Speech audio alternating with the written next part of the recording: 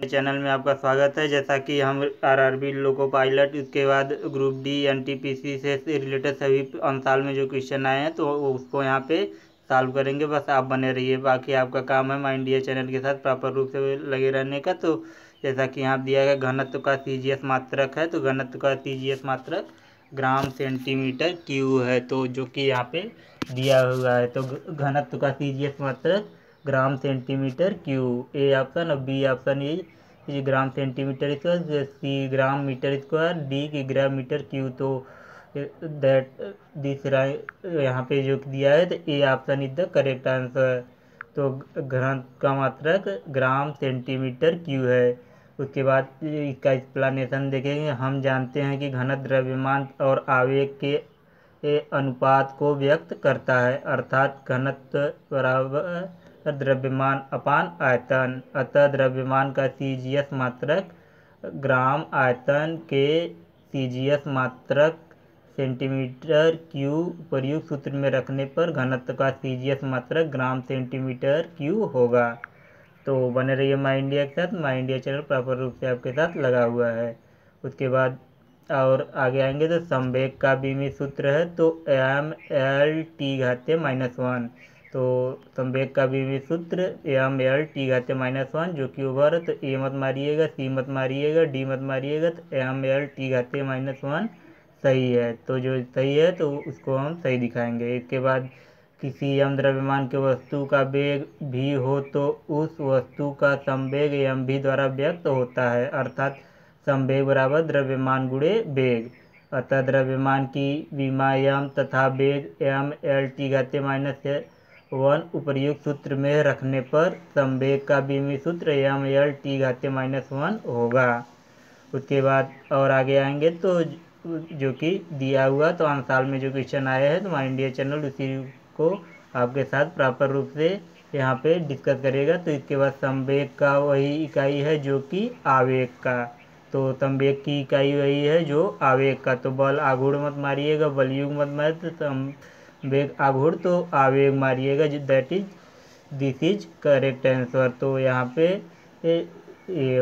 This is correct answer इसके बाद संवेग एक के मात्रक समान होते हैं। संवेग बराबर द्रव्यमान गुण वेग, अतः संवेग का मात्रक यहाँ पे जो कि एक्सप्लानेशन में पूरा दिया हुआ है। तो संवेग का मात्रक किग्रा मीटर पर सेकेंड आवेग बराबर बल गुड़े समय, उसके बाद द्रव्यमान गुड़े त्वरण गुड़े समय, उसके बाद आवेग का मात्रक किग्राम मीटर स्क्वायर, फिर उसके बाद गुड़ा करके यह तो ओवरऑल किग्रा मीटर पर सेकेंड।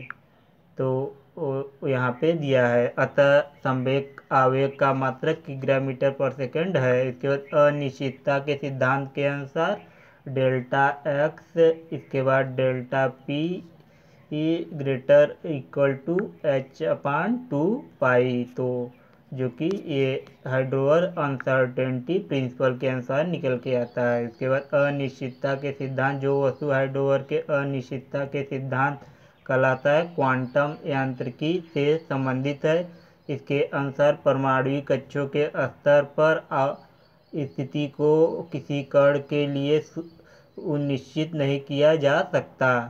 तो जो कि यहाँ पे ओवरऑल दिया हुआ है तो इसके बाद एक बोल्ट के बराबर है तो एक बोल्ट के बराबर क्या है? तो एक जूल गुलाम, जो कि सही आंसर है। तो एक जूल मत मारिएगा, एक गुलाम पर जूल मत मारिएगा, ये तो एक जूल गुलाम। तो एक बोल्ट के बराबर है तो तो वो एक जूल गुलाम, जो कि सही है। तो उसके बाद यहाँ पे इसका एक्सप्लेनेशन तो एक जूल पर गुलाम। तो किसी परिपथ में एक गुलाम आवेश को प्रभावित हेतु खर्च की गई जूल को एक बोल्ट कहते हैं। अतः बोल्ट एक जूल पर गुलाम है। उसके बाद और आगे आएँगे तो ऊर्जा क्या है? तो ऊर्जा कार्य करने की क्षमता है। तो ए मत मारिएगा, बी मत मारिएगा, डी मत मत तो ऊर्जा कार्य करने की क्षमता that is this is current answer तो दिस दैट का हेर में थोड़ा सा हो जाता है तो मतलब जब कोई आपसे सामने प्रत्यक्ष रूप से उपस्थित होता है तो उससे आप बात करें तो, तो वहाँ पे दैट कह देंगे और हम अकेले हैं तो इसलिए यहाँ पे दिस कह रहे हैं।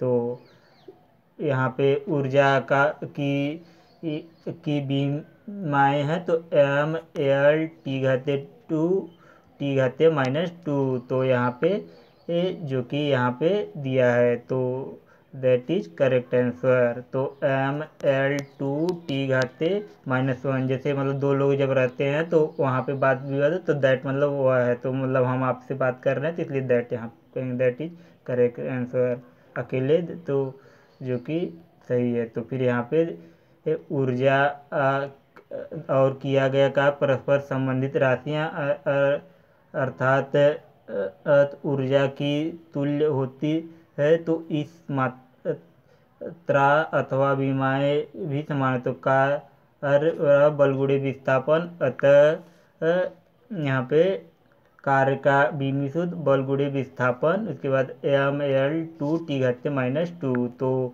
that is correct answer, this is correct answer, सब सही है, बस आप बने रहिए। तो यहाँ पे ऊर्जा का यह सही है या वह सही है तो फिर मतलब सब सही है। तो यहाँ पे ऊर्जा की बीमाएँ हैं तो एम एल टू टी घाते माइनस टू तो ऊर्जा जो कि यहाँ पे ओवरऑल उसके प्रकाश वर्ष मात्रक है तो प्रकाश वर्ष दूरी का मात्रक है। तो उसके बाद प्रकाश वर्ष बड़ा खगोल की दूरी मापने का मात्रक है।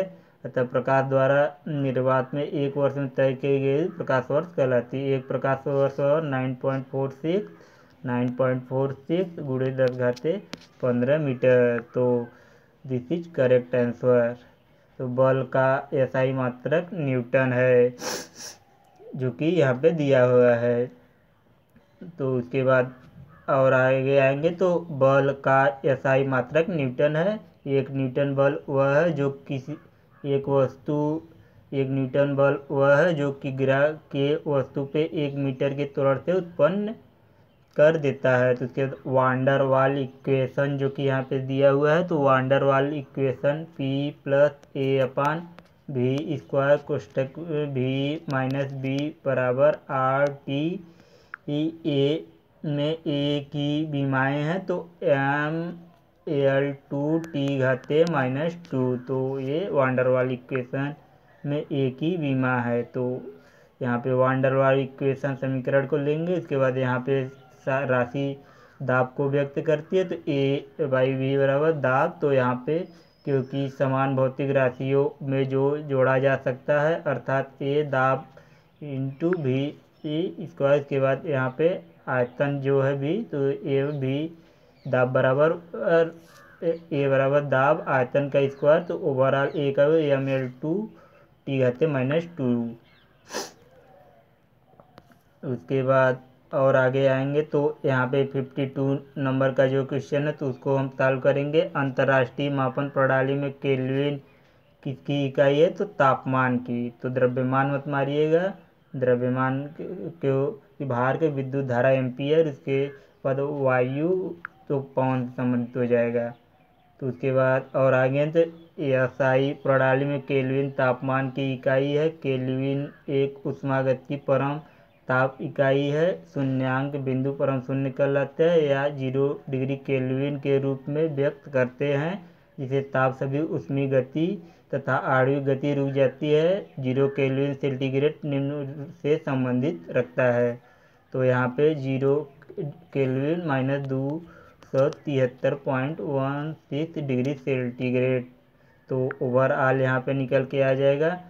अतः सेंटीग्रेड में दो सौ तिहत्तर जोड़ने पर परम शून्य केल्विन प्राप्त किया जा सकता है। यही सेंटीग्रेड हो तो संगत केल्विन होगा। उसके बाद के बराबर सी प्लस के नाट सी नाट प्लस दो सौ तिहत्तर। उसके बाद वेग परिवर्तन की दर को क्या कहा जाता है? तो वेग परिवर्तन की दर को त्वरण कहते हैं। तो बल मत कहिएगा, बल दूसरा गति से गति होता है संवेग वेग परिवर्तन की दर को त्वरण कहते हैं।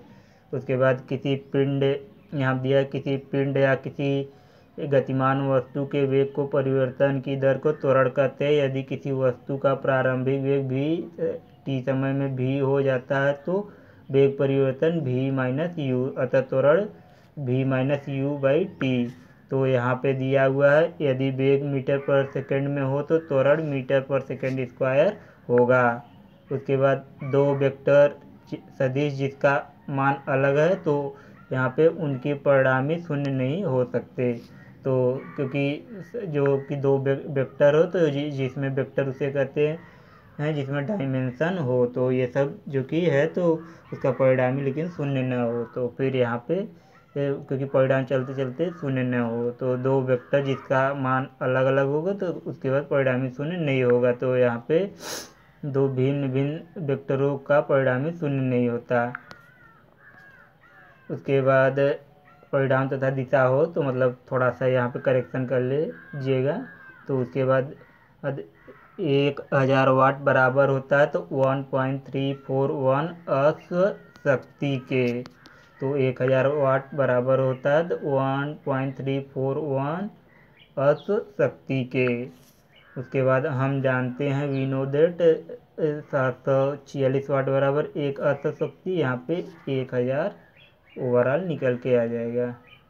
तो फिर जो है तो फिर यहाँ पे उसके बाद वेग परिवर्तन की दर को पूरा हमने जाना, फिर एक हज़ार वाट बराबर इतना अपान सात सौ छियालीस शक्ति तो one point three four one अश्व शक्ति तो ओवरऑल यहाँ पे निकल के आ जाएगा। उसके बाद मुक्त आकाश की पारगम्यता W B upon A M में है। तो क्या है?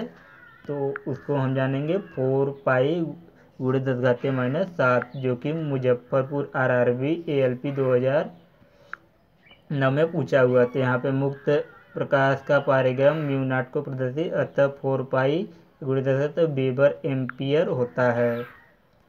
तो इसके बाद फिफ्टी सेवन नंबर का है तो उसको हम जानेंगे। तो जूल का जे तुल्यांक निम्नलिखित के बराबर होगा तो फोर पॉइंट टू जूल प्रति कैलोरी के तो जो कि यहाँ पे दिया हुआ है। तो बस बने रहिए तो एक जूल का यांत्रिक तुल्यांक, फोर पॉइंट टू जूल प्रति कैलोरी आप मार के आएँगे। उसके बाद और अगला क्वेश्चन, उष्मा का यांत्रिक तुल्यांक joule four point two joule प्रति कैलोरी है। तो उसके एक जूल बराबर होता है दस घाते सात अर्घ के।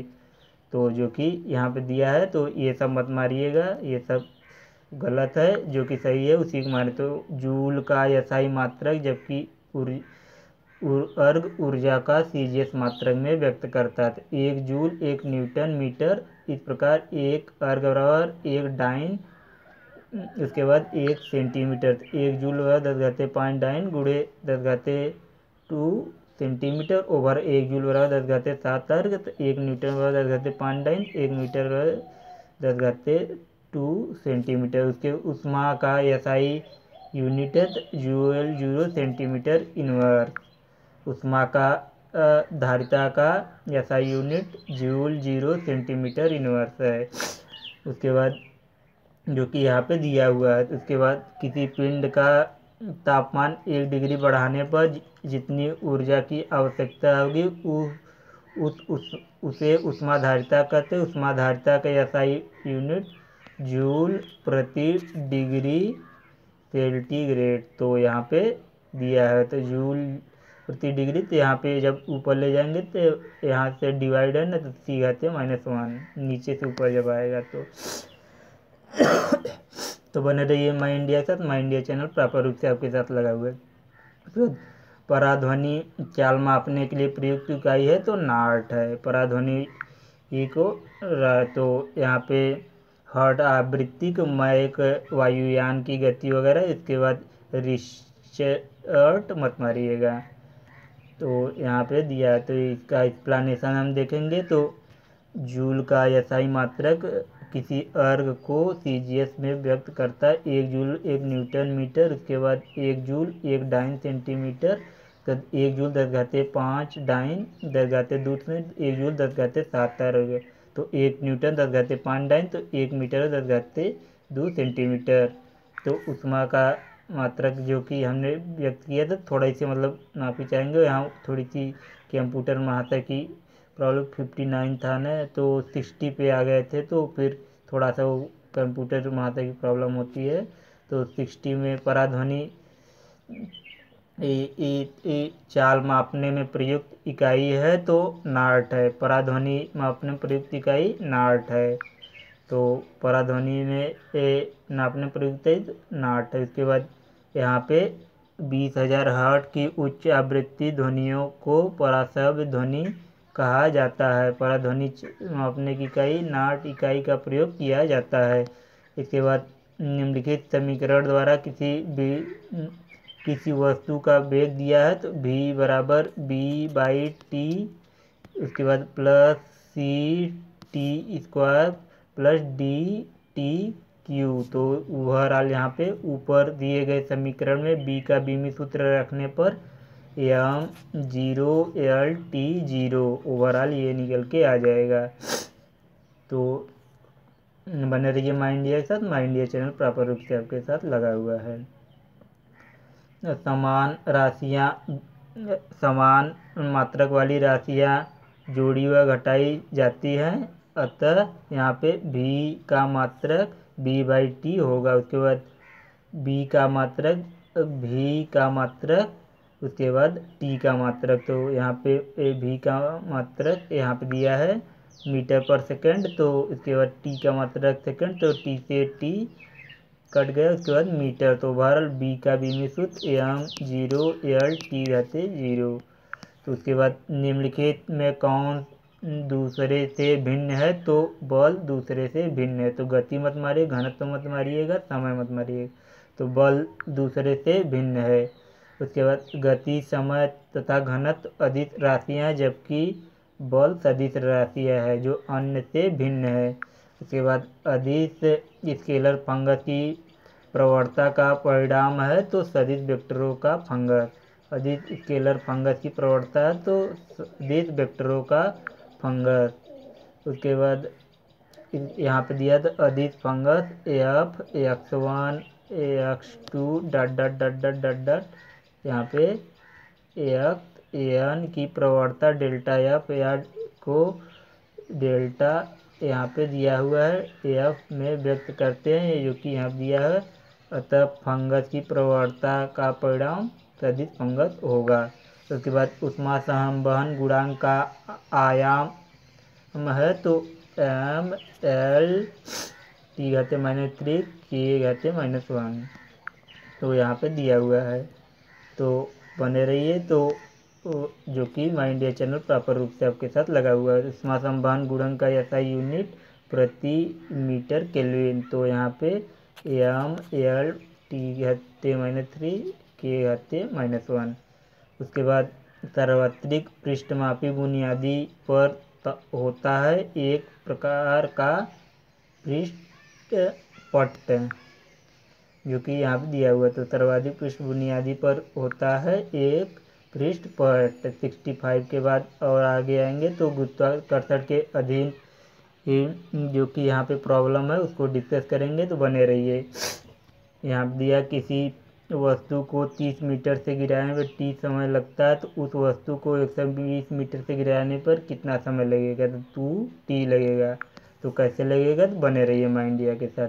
वस्तु को 30 मीटर ऊंचाई से गिराने पर 30 सेकेंड लगता है, अतः एच बराबर U T plus half G into G T square second तो जो कि यहाँ दिया हुआ है तो u यहाँ पे प्रारंभिक वेग ज़ीरो है, ऊंचाई h बराबर थर्टी दिया हुआ है, उसके बाद one by two G T तो यहाँ पे ओवरऑल g बराबर सिक्सटी बाई टी स्क्वायर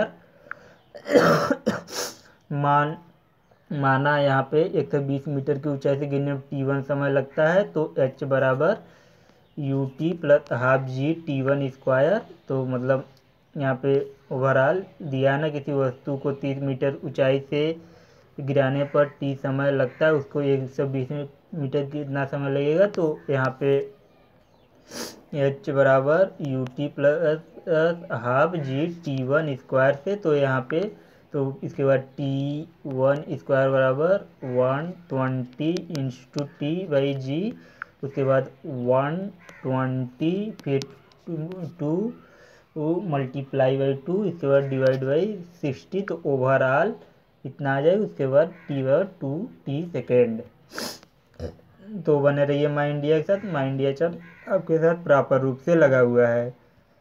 तो यहाँ पे एक गेंद को निर्वात में 49 मीटर पर सेकंड चाल से ऊपर फेंका जाता है। उच्चतम बिंदु को पहुँचने के लिए गेंद द्वारा लिया गया समय पाँच सेकंड तो जो कि यहाँ पे दिया है।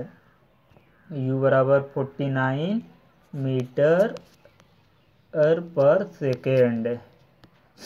इसके बाद v बराबर ज़ीरो तो v बराबर u प्लस जी टी तो यहाँ पे v जो कि बेलास्टी है, यहाँ पे ज़ीरो है, भी मतलब मीटर यहाँ पे दिया है कि फोर्टी एक गेंद को फोर्टी नाइन मीटर पर सेकंड की चाल तो यहाँ पे चाल दिया है, फेंका जाता है, उच्चतम बिंदु पहुँचने कितना लगे तो मैक्सिमम बिंदु पर पहुँचने पर यहाँ पे भी यू हमको पता है कि इतना मीटर पर सेकंड से फेंका प्रारंभिक वेग है, और अंतिम वेग यहाँ पे दिया है कि ये फिफ्टी नाइन चाल से ऊपर फेंका जाता है तो उच्चतम बिंदु पर कितना समय लगे तो अंतिम यहाँ पे ज़ीरो होगा। उसके बाद टी निकालना है।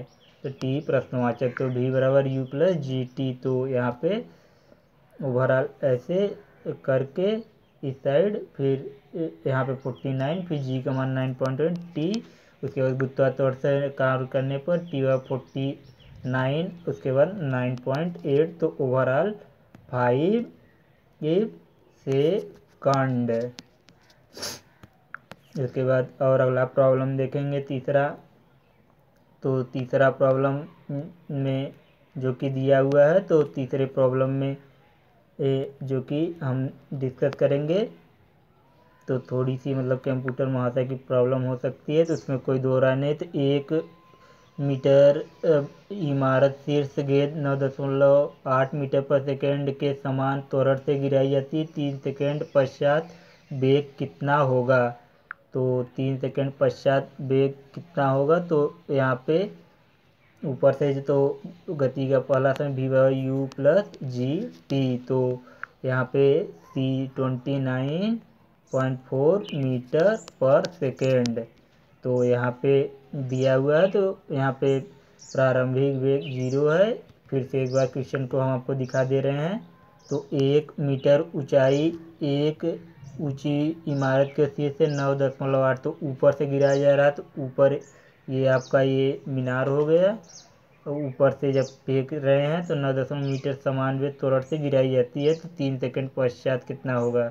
तो ऊपर से तो प्रारंभिक वेग यहाँ पे जो कि ज़ीरो है, क्योंकि ऊपर से यहाँ पे दिया है तो यहाँ पे भी बराबर u plus g t square तो यहाँ पे जो कि भी यहाँ पे ज़ीरो उसके बाद नाइन पॉइंट एट उसके बाद थ्री तो भी बराबर twenty nine metre per second तो यहाँ पे फिर और आगे आएँगे। तो यदि पृथ्वी का अक्ष अनंत नहीं होता तो क्या होता? तो यहाँ पे ध्रुवों के बी बी सुवत रेखा का तापक्रम एक समान होता।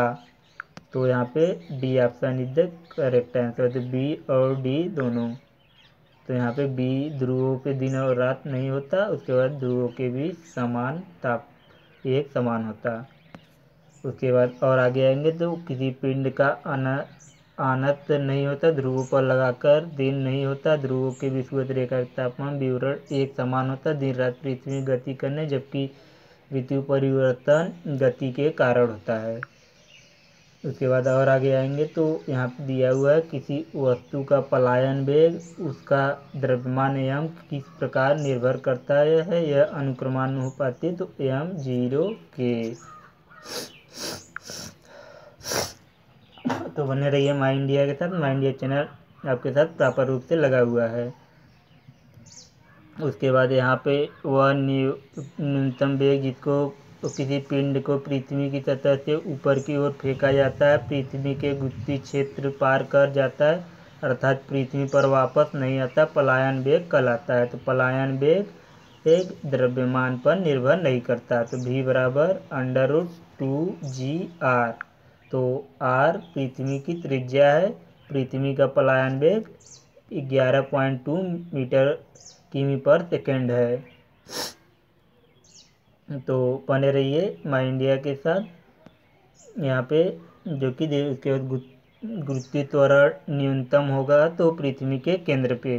तो जैसा कि यहाँ पे ये रहता है, ऐसा प्रॉब्लम रहता है तो यहाँ पे अगर होल कर दिया जाए यहाँ किसी पृथ्वी में तो यहाँ पे अगर बाल डाल दिया जाए तो तो यहाँ पे बाल पहले गुरुत्वीय त्वरण खींचेगा यहाँ पे, फिर नीचे नीचे यहाँ आएगा, फिर जबकि यहाँ पे तब इसे तो फिर यहाँ पे फिर जाएगा तो ऐसे ऐसे ऐसे ऐसे ऐसे ऐसे ऐसे ऐसे वो मोशन करता है, क्योंकि पृथ्वी किसी वस्तु को अपनी ओर खींचती है तो फिर यहाँ पे जो कि मैक्सिमम ज़ीरो होता है और यहाँ यहाँ पे तो फिर मतलब इस साइड आएगा, फिर ये तो ये प्रॉब्लम इंटर में आप पढ़े होंगे तो ये कंटिन्यू इसमें रोकते तो यहाँ पे पृथ्वी के केंद्र पे ज़ीरो होगा तो पृथ्वी के केंद्र पे। तो यहाँ पे गुत्ती त्वरण जी ई के मान में परिवर्तन तो पृथ्वी की सतह पर नीचे जी का मान घटता है तो जी का महत्तम मान ध्रुवों पर होता है। तो मतलब मैक्सिमम ध्रुवों पे, यहाँ पे यहाँ पे पृथ्वी के तो मैक्सिमम जी और उसके बाद जैसे सतह के नीचे जाए, जी का मान घटता है जी का मान महत्तम, ध्रुव पर हो तो जी का मान न्यूनतम, विषुवत, रेखा पर होता पृथ्वी पे गति, जी का मान कम हो जाता है, उसके बाद पृथ्वी घूर्णन गति करने पर जी का मान बढ़ जाता है, इस प्रकार गुत्ती तोड़ जी का मान न्यूनतम पृथ्वी के केंद्र पे होता है, नीचे जाने पर जी का मान घट जाता है। तो सिक्स के बाद सेवन पे आएँगे। तो बने रहिए माई इंडिया के साथ। माई इंडिया चैनल आपके साथ प्रॉपर रूप से लगा निम्नलिखित में कीजिएगा जी का मान सर्वाधिक तो विषुवत रेखा पर। तो विषुवत रेखा पे जो कि जी का मान सबसे अधिक होगा तो जो कि देखा, बताया गया है। तो भूगोल आप पढ़ते होंगे तो वहाँ से आप उसको कर सकते हैं। तो जी का मान विषुवत रेखा पर ध्रुवों पर सर्वाधिक, पृथ्वी के त्रिज्या पर निर्भर करता है, अर्थात अंटार्कटिक टिक पृथ्वी से सुदूर दक्षिणतम बिंदु, जिस बिंदु पर ध्रुव होता है, बिंदु डी सही उत्तर होगा। उसके बाद यहाँ पे आठवां प्रश्न एक सेकेंड डोलक को चंद्रमा से पे ले जाया जाता है, जी का मान नौ मीटर पर सेकेंड का एक बटे छः भाग लोलक का आवर्तकाल है तो फाइव टी सेकेंड है। तो कैसे? तो यहाँ पे पृथ्वी का आवर्तकाल टी वन बराबर two pi under root l by g तो यहाँ पे जी का मान चंद्रमा पे पे वन बाई सिक्स हो जाता है तो जो कि पृथ्वी के तो यहाँ पे जी बाई सिक्स सेकेंड डोलक का आवर्तकाल तो टी बराबर two pi l upon g by six six two pi under root six l by g तो यहाँ पे जो कि हो जाएगा। तो उसके बाद और आगे आएँगे तो एक टावर को शून्य, एक टावर से पृथ्वी, एक टावर से शून्य की गति से फेंका जाता है। पत्थर ज़मीन पर चार सेकंड गिर जाता है, तब टावर की ऊंचाई होगी तो अस्सी मीटर। तो इसको कैसे सॉल्व करेंगे तो इसको हम देखते हैं। तो प्रारंभिक एक वेग, एक जो है तो यहाँ पे यू बराबर ज़ीरो, उसके बाद जी बराबर दस, जब ऊपर से फेंका जा रहा है, उसके बाद एस बराबर बर प्रश्नवाचक टी बराबर फोर सेकेंड तो ओवर गति के द्वितीय समीकरण से h by u t plus half g t square से तो यहाँ पे प्रारंभिक वेग जो कि दिया हुआ है तो एच बराबर u t half g t square तो फोर प्लस यहाँ पे वन बाई टू, यहाँ पे हाफ़ जी टी स्क्वायर है तो यहाँ पे जब ज़ीरो में ये मल्टीप्लाई करेंगे तो फिर यहाँ पे ज़ीरो आ जाएगा, उसके बाद यहाँ दो दूनी चार तो उसके बाद चार दूनी आठ उसके बाद यहाँ पे ओवरऑल एट्टी आ जाएगा आपका। तो जो कि यहाँ से तो यहाँ पे दिया है कि एक टावर को शून्य गति से तो ओवरऑल प्रारंभिक वेग शून्य दे दिया था। तो यहाँ पे अगला प्रॉब्लम पे आएँगे। एक ग्राम व्यास का औसत घनत्व व्यास और औसत घनत्व का दुगुना उसके तल के गुरुत्वी के कारण होगा तो फोर जी के कारण होगा। तो पृथ्वी का व्यास डी, घनत्व डी, पृथ्वी का गुरुत्वाकर्षण जी बराबर जी एम आर, इसके बाद आर स्क्वायर। उसके बाद प्रश्नानुसार सर दूसरे ग्रह का व्यास टू पाई व्यास टू डी, उसके बाद औसत घनत्व डी बराबर डी डी डैश बराबर टू, पृथ्वी का घनत्व टू डी, ओवरऑल घनत्व बराबर द्रव्यमान अपान आयतन तो द्रव्यमान बराबर घनत्व तो गुड़े आयतन, उसके बाद पृथ्वी का आयतन भी बराबर चार बटे तीन पाई आर क्यू तो ओवरऑल ये हो जाएगा। यहाँ पे चार बटे तीन पाई आर क्यू तो यहाँ पे चार बटे तीन pi d e by two का क्यू उसके बाद यहाँ पे ओवरऑल इतना, उसके बाद दूसरे ग्रह का आयतन भी बराबर चार बटे तीन pi two d by two cube उसके बाद four by three pi d cube उसके बाद eight into four by three pi d cube by eight, उसके बाद एट, इसके बाद पृथ्वी का आयतन। तो दूसरे का वृत्ति त्वरण, यहाँ पे जी डैश आर बराबर g eight m upon r square तो जी डैश आर बराबर फोर जी तो यहाँ पे जो कि दिया हुआ है। उसके बाद किसी वस्तु को चंद्रमा पर ले जाया जाता है तो उसका भार घट जाएगा। तो चंद्रमा पर ले जाए तो क्योंकि भार घट जाएगा क्यों घटेगा? तो इसका एक्सप्लेनेशन द्रव्यमान का स्थान निरपेक्ष होगा, अर्थात द्रव्यमान समान होगा। गुत्ती त्वरण निर्भर करता है जबकि चंद्रमा पर गुत्ती त्वरण का मान वन बाई सिक्स होता है, जो कि जब पृथ्वी खींचेगा ही नहीं तो मतलब जैसे पृथ्वी खींच रहा था चंद्रमा पे वन बाई सिक्स होता है। तो चंद्रमा पर जब ले जाएँगे तो वन बाई सिक्स मतलब और कम होता है तो उसका भार घटेगा ही। वन बाई सिक्स अर्थात चंद्रमा पर भाग वन बाई सिक्स होगा। उसके बाद यहाँ पे एक वायुबद्ध पिजड़ा जिसे तोता बैठा है स्प्रिंग बैलेंस लटकाया जाता है, तोता भीतर उड़ना शुरू करता है स्प्रिंग बैलेंस रीडिंग अपरिवर्तित रहेगा। तो जो कि यहाँ पे इसका एक्सप्लेनेशन वायु युबद्ध पिजड़े में बैठा तोता जिस स्प्रिंग बैलेंस से लटकाया जाता है उड़ेगा तब सबसे पहले वह सर अपनी पंखों के नीचे ले जाएगा। तब वायु पिजड़े में फर्श पर एक समान बल डाले जिससे स्प्रिंग बैलेंस की रीडिंग अपरिवर्तित रहेगी। तो यहाँ पे पत्थर मीनार के शीर्ष से गिराया जाता है तो वह अपनी यात्रा का अंतिम समय 24.5 मीटर लगाता है तो मीनार की ऊंचाई होगी। तो यहाँ पे तेरह की वहाँ प्रॉब्लम देखेंगे तो h half plus u h y u t plus half g t square तो यहाँ पे दिया हुआ है। तो ओवरऑल पूरी श्रृंखला यहाँ पे ख़त्म होगी। बस बने रहिए तो एक पत्थर मीनार के सिर से गिराए अपनी यात्रा से टू ट्वेंटी फोर मीटर पर तो मीनार की ऊंचाई होगी। तो यहाँ पे forty four point one metre उसके बाद h r u t plus half g t square से यहाँ पे ओवरऑल इतना निकले तो घटाने पर इतना आ जाएगा तो थोड़ा सा आप मतलब करिए कर करिएगा इसको तो फिर अगर नहीं समझ में आएगा तो फिर हम लगे हुए हैं।